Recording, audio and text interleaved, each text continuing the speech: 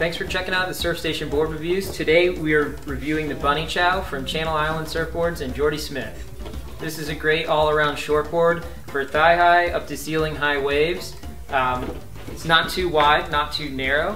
One thing you will notice about the Bunny Chow is that it has very full rails. So this isn't really normal for a board shaped like this. This board is meant to be ridden an inch or two shorter than your standard performance shortboard and handles a wide variety of conditions.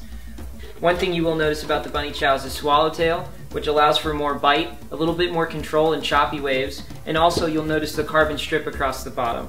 This helps prevent breakage.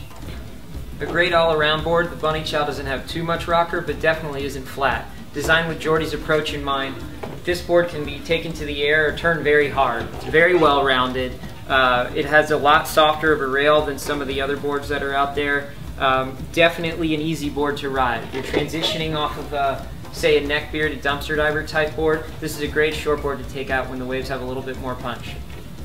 Most of the stock here at the surf station have a five fin option. Riding a quad when the waves are more lined up, maybe generally towards your backside, versus riding a tri-fin when doing more maneuvers in a pocket.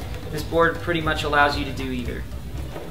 For a great all-around short board, a one board quiver, or coming off of a step down shortboard, the Bunny Chow should be your choice. Check out our selection at surfstationstore.com.